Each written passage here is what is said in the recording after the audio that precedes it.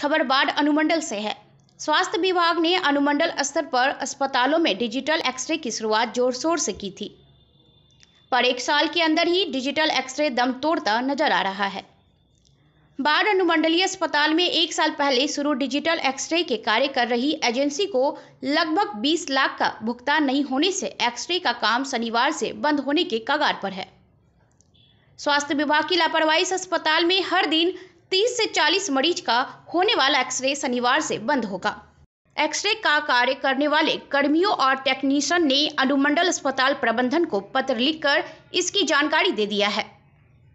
Agency की भुगतान नहीं होने से टेक्नीशियन के साथ किसी भी स्टाफ को पिछले एक साल से राशि की भुगतान नहीं हुई है। बीएनपी न्यूज़ के लिए बाढ़ से संवाददाता अभिरंजन कुमार की रिपोर्ट।